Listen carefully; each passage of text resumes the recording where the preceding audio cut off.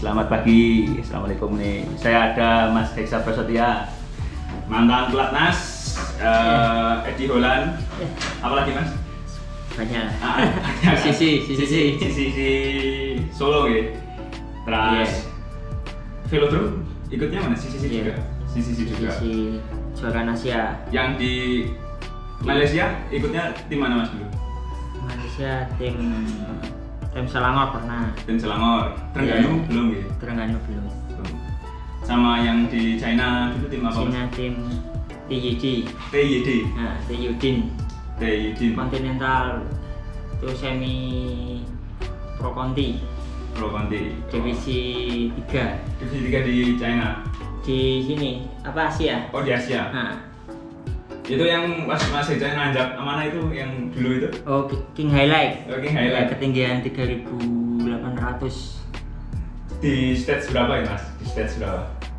di stage ke keempat jumlah total 14 stage 14 stage. nah 3800. 1800 sampai top peaknya eh, kom Topiknya kom itu. Nah, di di bawah Gunung Tibet Heeh. perbatasan dengan Mongol Oh, maksudnya masih China itu ya? ah Dan China tapi dekat Tibet, Tibet dekat perbatasan perbatasan dengan Mongolia gitu. Boleh itu lomba terberat se Asia seluruh Asia itu paling berat itu di situ memang di situ, di Nah. tanjakan itu. ya itu kan terkenal dengan apa ya eh, di ketinggian yang sampai 3800 Hmm, dari setar 2500 dari start 2500. 2500 ke 3800 kemarin ya. ya ada di Indonesia aja paling tinggi 1800 Ya, start aja udah 2500 berarti udah tekor dulu di Ya, latihan di Indonesia aja udah ada tekor Ya oksigennya udah tipis berarti ya. Iya. Karena saya nggak kuat Hmm. disuruh berhenti sama dokter tim medis sana. Hah. karena tidak mungkin karena saya sudah keluar darah Oh. dari hidung udah ngucur gitu Hmm, hmm. jadi kalau kita dilanjutin bisa mampu bisa tapi pecah pasti Pembuluh darahnya ya? Iya. Pembuluh darah yang, di termasuk yang dikhawatirkan Ah. sampai telinga keluar darah gitu. Hmm. akhirnya diberhentiin padahal udah dua minggu di sana untuk penyesuaian Adaptasi dulu. adaptasi itu dua minggu Iya.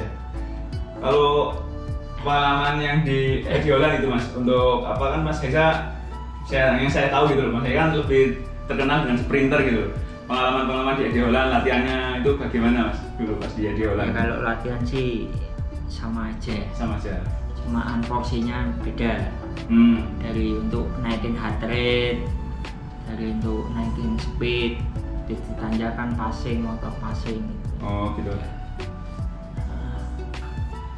Eh, eh, sprinter berat yang pernah dihadapi ya maksudnya di tour di mana gitu lomba paling berat yang pernah dihadapi. Ya ya itu kayak tuh Langkawi berat tour Langkawi. Sebenarnya sih ya karena dia punya punya tim lain punya nama lah. Mungkin dia Mhm. kan lebih solid gitu. Betul betul. Iya. kalau tips-tipsnya mas. Biar sprintnya kuat apa mas?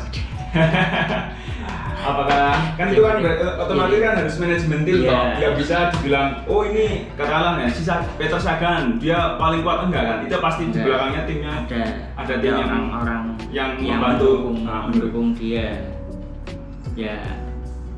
Tidak luput dari disiplin lah. Disiplin. Latihan, ya. latihan disiplin. Itu kunci utama lah. lawan diri kita masing Hmm. Kalau pas sprintnya itu mas, kan mesti banyak tuh kayak godaan yang nutup jalan, yang apa dan sebagainya. Kembali kita kita ke mental lah. Mental itu. iya. Mental kita harus berani fight. Kita sama-sama maksudnya gimana ya? Sama-sama makan lah. Pokoknya kita jangan apa berhenti mengalir sebelum garis finish itu Nah, betul. Nah, kalau boleh tahu nih, kan misal nih, katakanlah uh, Tour de Langkawi atau Tour de Singkara itu kan katakanlah uh, lebih dari 100 km gitu, ya kan? Berapa Iya. kilometer menjelang finish Mas Reza sudah ancang-ancang untuk sprint? ya itu kan udah eh, kita apa lihat dulu dari eh, rolling kita Hmm. harus simpan tenaga sebaik-baik mungkin untuk sprinter lah Hmm. beda loh seorang climber seorang sprinter itu beda iya dia seorang climber harus dia menunjukkan kemampuannya di pas tanjakan kalau sprinter kita harus minta-minta nyimpan tenaga Hmm. sampai pas finish line di flat. Hmm. Itu berapa kilometer biasanya mas ya hanya untuk sprinter itu? itu tergantung Lawan-lawannya juga kalau ya? nggak nggak nggak bisa di itu ya. Nggak bisa di ini ya? iya soalnya kan medan kita kan nggak nggak tahu kita pas rolling tanjakan pas turunan kita harus pintar-pintar cari posisi yang bagus lah Jadi posisi yang bagus. Iya, jangan terlalu di belakang, kalau terlalu belakang jadi tenaga kita terkuras Ah, ya yes. untuk ngejar poin ke depan. Kalau kita ter- kalau di depan juga kita apa tenaga kita harus terkuras lah. Hmm. Ya. Berarti ya mungkin 10 Ya, km lah ya. Iya, Andanya kita 10 km. ah, harus pintar-pintar bagi. Eh, pernah nggak mas? Maksudnya eh, pas breakaway udah kehabisan tenaga duluan gitu? Pernah nggak? Atau Pernah, pernah. Dari waktu itu juga pernah. Karena saya juga saya juga di situ kabur eh, keluar dari peloton Hah? uh, breakaway tujuh orang di situ juga ada tiga sprinter juga kita harus pintar-pintar meskipun itu lawan gitu ya? Iya, Kita harus lawan. Iya. bagi-bagi tenaga gitu. kalau kita jangan sampai kita nanti pas finishing penyesalan di belakang kita udah apa lewati garis finish Hmm? satu detik pun kita kalah kalah Oh iya betul, satu kali. Ya. Lawan terberat mas, kalau untuk versi Indonesia siapa mas? Indonesia sih rata-rata semuanya sama sih Sama. Hmm. Kalau yang dari negara tetangga Asia Tenggara, gitu. ya paling Tengganu ya apa Tengganu. Tengganu sama pecahan Soviet itu Kazakhstan, Kazakhstan. kuat-kuat ya. Oh, yang Asia Tenggara, Asia Tenggara.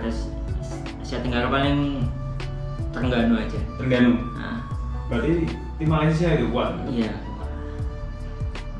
Pernah nggak ada kompak kompak sih. ada istilahnya kalau diadu fight ya Hah? berani sebenarnya. berani? Iya. Mungkin masih yang masih aktif. Karena karena dia sering lomba, jadi pengalaman dia Oh. lebih banyak. Oh jadi karena sering lomba, pengalamannya banyak, Iya, untuk eh, Asia. manajemen tim bagus, Iya. kerja tim bagus, jadi masih kuat lah sampai sekarang Iya. itu. Kuat, Asia. Asia Tenggara gitu ya. Eh, ada nggak Mas, Mas yang ini masih aktif itu balap seangkat liftingnya atau seangkatannya Mas Ega? Masih banyak. Misalnya siapa Mas kalau boleh tahu? Harif Saleh. Arif Saleh, Iya.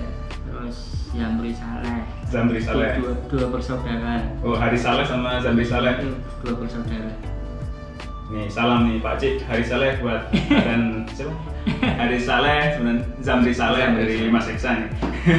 Barangkali masih ingat? Siapa Masih, tahu? Siapa tahu diajak balapan bareng lagi. Kayaknya kalau Mas Haris Saleh itu masih ini ya. Haris Saleh masih ah, balapan-balapan kan masih Masih, masih. Karena ini pandemi ini nggak ada lomba Asia. betul. Untuk semua. Kecuali kemarin di Thailand tuh ada uh, National Championship lah. Ah, masih nasional ada. Thailand. ya. Untuk lomba-lomba track di Indonesia belum vakum. Track itu maksudnya yang velodrome Ya, ya. velodrome. Aja kemarin seminggu yang lalu untuk cari sponsor sama itu untuk jersey kebanggaan nasional Thailand ya. Thailand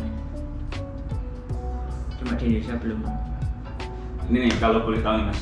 Track eh, atau rute di Indonesia atau misalnya tour de Indonesia yang paling berat di mana yang pernah Mas rasakan? Seluruh kayak gitu Ya, dari yang mungkin Singkara, Singkara. uh, Ijen, tur mana yang paling berat menurut menurut Mas Eksa itu yang mana? sini yang berat sini mana pemudu itu Labuan Baju Labuan Bajo berat itu. iya Rollingannya lebih Ah. banyak ya. Iya. Kalau Singkara nggak berat cuma kita banyak transport habis lomba transport jadi capeknya tuh nggak di jalan. Oh, capek di jalan. Kalau tour Indonesia tuh enggak. Tanjakan yang berat ya ijen tour ijen tour ijen Nah, tanjakan terberat ya tur Bejen.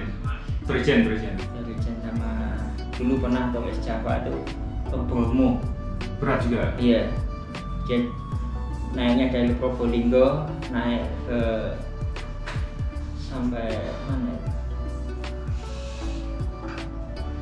pokoknya pokoknya lewat Probolinggo itu Probolinggo. nah Boleh dicoba itu ya.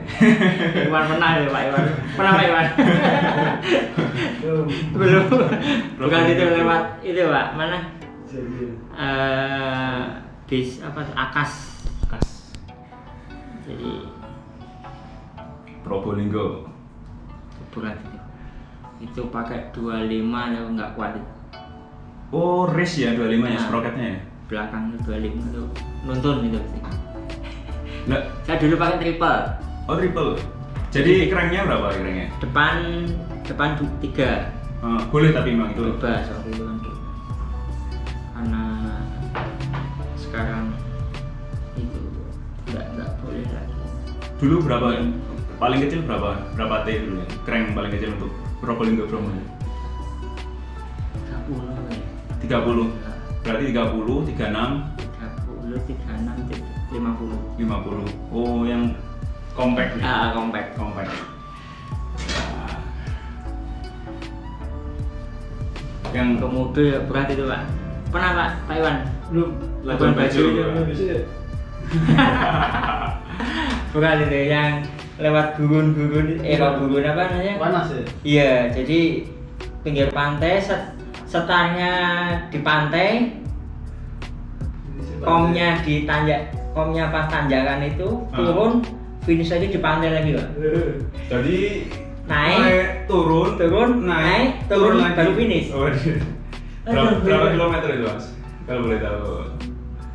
160-an 160 km. dengan rute seperti itu itu tim Korea saya tinggal dua pembalapnya Tim Korea Selatan. Korea Ah, tinggal dua. LX tim LX Tim LX Korea. Nah, 6 pembalap 6 rider tinggal dua Berarti lainnya nggak ikut.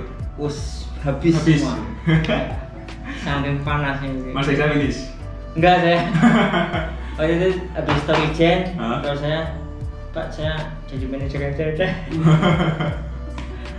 memang dilihat dari apa anunya udah udah melalui berapa tour gitu loh Hmm. habis sebelum tour ijen itu dulu tour LCC series itu ya udah di- diganti rolling lagi Ah, rolling. kan pembalap kan nggak mungkin harus Ikut semua ikut ini ya. semua itu nggak Ini kalau boleh tahu nih, kalau misalnya tour kan mungkin lebih dari 150 km, kemudian mungkin hampir 200 km lah. Kalau latihannya itu berarti berapa kilometer mas setiap harinya gitu kalau buat bisa menunjang untuk ikut tour Yes, itu. 200, 150 sampai 200. Kita lihat kondisi Nah, latihan kita, misalkan kalau rolling gitu ya, Hmm. paling nggak seminggu itu ada ada climber eh, untuk tanjakan itu dua minimal dua kali seminggu itu. dua kali seminggu Ada tanjakan, yang lain Flat yang lain mungkin ya? Flat sama endurance. endurance. Nah, Tapi setiap hari itu harus. iya seminggu jadi libur istirahat aktif sekali, recovery sekali. Oh jadi misalkan seminggu tujuh hari itu lima hari itu full latihan, satu hari free, Free. nah, istirahat total, Ah. satu hari untuk recovery. Nah, Oh gitu. Yo kemang sih. jenuh ya. Kalau bukan atlet jenuh ya sih. iya. Makanya kita harus pintar bagi waktu, Nah, disiplin terutama. Waduh, ya makasih loh mas nih tips-tipsnya. Kapan-kapan lagi cerita-cerita lagi deh mas. Oke, makasih ya mas ya. Iya, Ah. sama-sama. Ini pengalaman saya pribadi. Ya, bukan- tidak mengharuskan ya. Oke, thank you.